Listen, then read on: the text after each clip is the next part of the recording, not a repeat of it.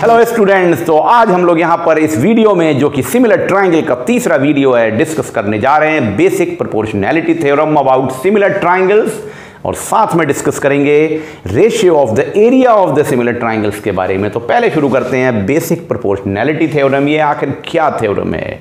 आपने जो पिछले दो वीडियोस में सिमिलैरिटी के लॉजिक्स को पढ़ा, उसी को थोड़ा एलेबोरेट करके, एक डिसाइड करके कि हम किस तरह से उसका प्रेजेंटेशन देंगे थ्योरम बना दी गई है, जिसे कहते हैं बेसिक प्रोपोर्शनैलिटी थ्योरम तो देखिए क्या है ये, इसका बेसिक कंटेंट क्या है?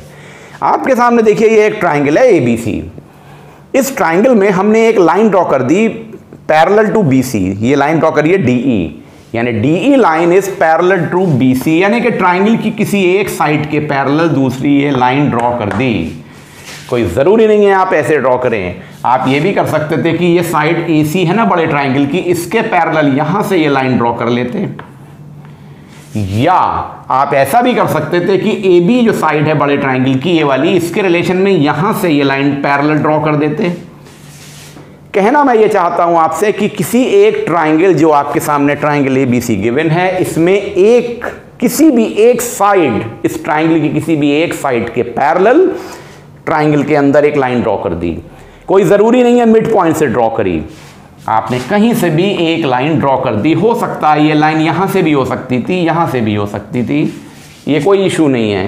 बस एक लाइन, लेकिन वो पैरेलल होनी चाहिए। आपने ड्रॉ कर दी। जब वो लाइन आप ड्रॉ करते हैं तो सपोज़ हमने ये ड्रॉ करी है तो ये पॉइंट डी और ई e पे कट कर रही है, बाकी दोनों साइड्स पे। तो ये जो लाइन है, क्योंकि पैरेलल है इस लाइन के साइड के, ये लाइन इस ट्राइंगल की बाकी दोनों साइड्स को प्रोपोर्शनली डिवाइड कर देती है। मतलब A D upon D B का ratio A E upon E C के रेशियो के बराबर आ जाता है। यानी एक प्रोपोर्शन में साइड्स डिवाइड हो जाती हैं। तो देखिए a line drawn parallel to one side of a triangle divides the other two sides proportionally यानी कि एक, एक प्रोपोर्शन में डिवाइड कर रहे हैं। मींस अब कैसे हम इसको प्रूफ करेंगे? इसको समझना है। तो देखिए गिवन है ट्राइंगल ए बी सी जिसमें कि we have drawn a line D E parallel to B C ये साइड बड़े ट्राइंगल में थी और ये हो गई। तो इस तरह से क्या हुआ? ट्राइंगल आप देखिए, दो पार्ट में डिवाइड हो गया। एक ये छोटा ट्राइंगल बन गया ए डी ई और एक ये बड़ा ट्राइंगल है ए बी सी और ये एक छोटा सा ट्रिपीजियम दिख रहा है आपको यहाँ पे। अब आप इन दोनों को हटा दीजिए यहाँ से, क्योंकि हम इसके रिलेशन में प्रूफ कर रहे हैं। इधर से भी प्रूफ किया जा सकता है इसको। आपको प्रूफ क्या करना है? देखिए A D upon D B A D upon D B is equal to E upon E C मतलब इनका प्रोपोर्शन इक्वल है, ये प्रूफ करना है। तो आपने क्या किया? स्टेटमेंट और रीजन लिख लिया लेफ़्ट और राइट में। अब देखिए ट्राइंगल ए बी सी ये लार्जर ट्राइंगल दिख रहा है ए बी सी और ये छोटा ट्राइंगल ए डी ई इन दोनों ट्राइंगल में अगर बात करें तो आप देखिए यहाँ पर ये करस्पॉन्डिंग एंगल बन रहे हैं क्योंकि ये दोनों लाइन पैरेलल हैं। तो एंगल ए डी ई ये देख रहे हैं ना आप एंगल ए डी ई छोटे ट्राइंगल में और बड़े ट्राइंगल में ए बी सी ये दोनों इक्वल हैं। इन द सेम वे यहाँ देखिए आप, ये दोनों एंगल ए सी बी और ए ई डी ये इक्वल है। करस्पॉन्डिंग एंगल हो गए तो देखिए angle A B C is equal to angle A D E है। और angle A C B is equal to angle A E D है।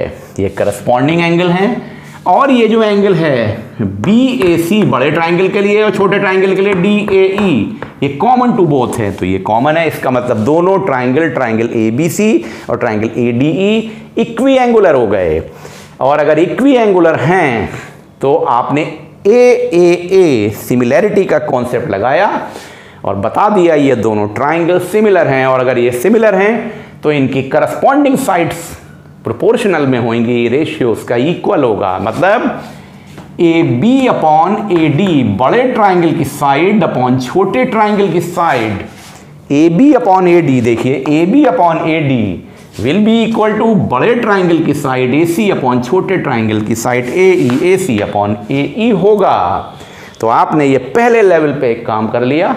तो देखिए, जो हमने अभी A B upon A D is equal to A C upon A E लिखा था, वो ये लिखा हुआ था A B upon A D is equal to A C upon A E बड़े ट्राइंगल की साइड्स और छोटे ट्राइंगल की साइड्स का रेशियो वो प्रोपोर्शनल है करस्पॉन्डिंग साइड्स का रेशियो तो इसको लिखने का एक तरीका और हो सकता है।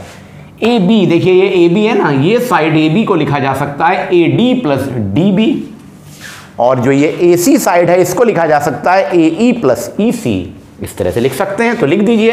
A D plus B D upon A D तो ऐसे ही लिख दिया। ए सी को लिखा ए E plus E C upon A ई ध्यान से देखिएगा इस पॉइंट को। हमने इसके ब्रेकअप को बना के लिख दिया। तो देखिए ये A D upon A D से तो वन आ जाएगा न्यूमरेटर डिनोमिनेटर के रिलेशन में एलसीएम के बेसिस पे। और B D upon A D लिख दिया। इक्वल टू यहाँ पे भी देखिए वन आ जाएगा ए ई अपॉन ए ई से plus E C upon A ई लिख दिया। वन वन कैंसिल हो गए। तो आपके सामने बचा B D upon A D is equal to E C upon A E क्या आया देखिए?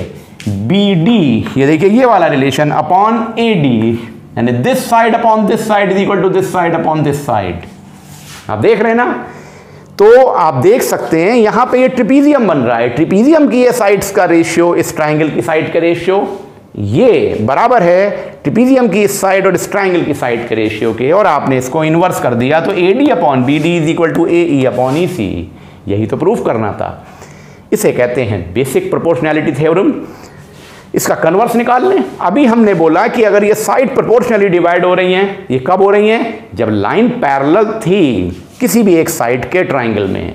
और अगर हम कह रहे हैं कि कोई ऐसी सिचुएशन है कि इसी ट्राइंगल में एक लाइन के थ्रू ये साइड्स पहले से डिवाइडेड हैं प्रोपोर्शनैलिटी में तो ये लाइन हमेशा पैरेलल होगी उस दूसरे ट्राइंगल की किसी एक साइड के। तो देखिए if a line divide any two sides of the triangle proportionality में the line is parallel to the third side means if A D upon B D given है equal to A upon C E तो D E will be parallel to B C होगा। ये converse of the basic proportionality theorem हो गया। I hope आपको ये पूरी theorem समझ में आ गई होगी। अब हम लोग शुरू करेंगे एरिया से रिलेटेड सिमिलैरिटी का लॉजिक आइए अब हम लोग डिस्कस कर लें कि अगर हमारे सामने दो ट्राइंगल्स दिए हुए हैं जो कि सिमिलर ट्राइंगल्स हैं और अगर हम उनके एरियाज़ का रेशियो निकालें तो क्या फॉर्मूला बनेगा? यहाँ आपको डायरेक्ट फॉर्मूला यूज़ करना है।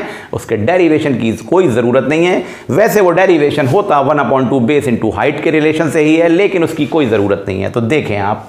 आपके सामने देखिए, एक ट्राइंगल बना हुआ है ए बी सी और दूसरा ट्राइंगल बना हुआ है डी ई एफ़ आपको ज़्यादा डिटेल में एक्सप्लेन करने के लिए मैंने एक परपेंडिकुलर ड्रॉ कर दिया। ए एम ये 90 डिग्री एंगल है और यहाँ पे कर दिया डी एन तो आप देख सकते हैं, ये ट्राइंगल भी इट दो पार्ट में डिवाइड हो गया, ये भी डिवाइड हो गया दो पार्ट्स में।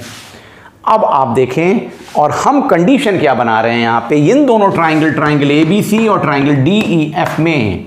आप देखिए, ये एंगल ए एंगल डी के इक्वल है। एंगल बी एंगल ई के इक्वल है, ये डबल मार्क किया है। और एंगल सी एंगल एफ़ के इक्वल है, ये ट्रिपल मार्क किया हुआ है। अगर ये इस तरह से इक्वल एंगल्स हैं दोनों ट्राइंगल में। और ये एंगल 90 डिग्री हैं जो परपेंडिकुलर गिर रहे हैं उसकी वर्टेक्स से ए से और डी से। इसका मतलब ये दोनों ट्राइंगल सिमिलर ट्राइंगल हैं। और अगर सिमिलर ट्राइंगल हैं ट्राइंगल हैं तो इनकी करस्पॉन्डिंग साइड्स का रेशियो तो इक्वल होगा, जो आपको अब अच्छी तरह से समझ में आ चुका है। और अगर अब हम एरिया की बात करें तो इनका रेशियो निकालें तो देखिए area of the triangle A B C area of the triangle A B C upon कर दें. Area of the triangle D E F यानी इनके एरिया का रेशियो क्योंकि ये सिमिलर हैं और करस्पॉन्डिंग साइड्स प्रोपोर्शनल हैं इक्वी एंगुलर हैं तो हमेशा इनकी साइड्स का स्क्वायर करने से वो रेशियो एरिया का रेशियो आ जाता है. तो आप देखिए क्या करेंगे? ये साइड है ए बी स्क्वायर कर दिया अपॉन डी ई स्क्वायर कर दिया. तो A B square upon D E square ये किसके इक्वल होगा? ये इक्वल होगा ए सी स्क्वायर और अपॉन डी एफ़ स्क्वायर ये किसके इक्वल होगा? B C square upon E F square और ये सब भी इक्वल हो सकते हैं A M square upon D N square के। मीन्स इनकी करस्पॉन्डिंग साइड्स का स्क्वायर का रेशियो हमेशा इक्वल होता है और वो क्या देता है? Ratio of the area of two triangle area नहीं ratio of the area of two triangle बराबर होता है स्क्वायर ऑफ़ द साइड्स के रेशियो के करस्पॉन्डिंग साइड्स में. ये एक तरह से फॉर्मूला बन गया आपके सामने. इसका यूज़ करके या इसके साथ इसको यूज़ करके या इसके साथ इसको, इनमें से किसी को भी यूज़ करके आप प्रॉब्लम्स को निकालते हैं, जो आपसे अभी बाद में डिस्कस करेंगे हम लोग. तो इन दिस वे बच्चों, आपने इस वीडियो में बेसिक प्रोपोर्शनैलिटी थ्योरम को पढ़ लिया और ratio of the areas of the two similar triangle को समझ लिया। आई होप आपको ये सब समझ में आ गया होगा। नेक्स्ट वीडियो का वेट करिए, जिसमें अब हम लोग डिस्कस करेंगे बेसिक टेक्निक्स जिससे कि हम डिफरेंट तरह की प्रॉब्लम्स को सॉल्व करते हैं। आपको मैं पाँच या छह टेक्निक्स बताऊँगा तरह तरह के ट्राइंगल्स को लेके, कि उतनी ही पॉसिबिलिटी हो सकती हैं। सिमिलर ट्राइंगल के प्रॉब्लम्स को सॉल्व करने के लिए, चाहे वो न्यूमरिक वे में हो, चाहे प्रूविंग के वे में हो, जिससे आप आगे की अपनी एक्सरसाइजेस को सॉल्व करेंगे और उसके बाद के वीडियोज़ में डिफरेंट डिफ़िकल्ट प्रॉब्लम्स को डिस्कस करेंगे। Thank you